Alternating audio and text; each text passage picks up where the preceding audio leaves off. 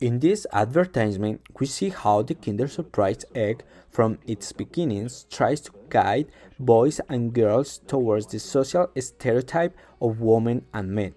The previous statement can be analyzed since the surprise that this product brings are differentiated for boys or girls.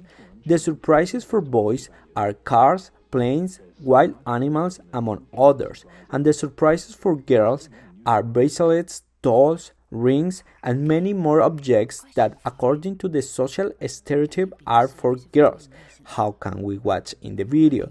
In the same way, we see how this product handles a psychology of color so that buyers recognize what a surprise the Kinder Egg brings inside for boys in blue and for girls in pink.